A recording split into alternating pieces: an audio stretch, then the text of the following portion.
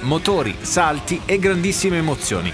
È questo il menù che verrà proposto il 23 e 24 settembre dal Motoclub Fagioli di Cingoli nella competizione Sidecar Cross e Quad Cross delle nazioni europee.